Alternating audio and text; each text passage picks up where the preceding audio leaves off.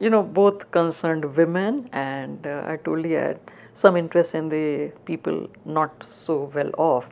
And SEWA has done phenomenal work in you know empowering women. So I was always interested in just seeing how uh, you know women who were till that time regarded as being so um, so devoid of you know any power and opportunity could be really given chance to shape their own lives by making them members of banks and so on.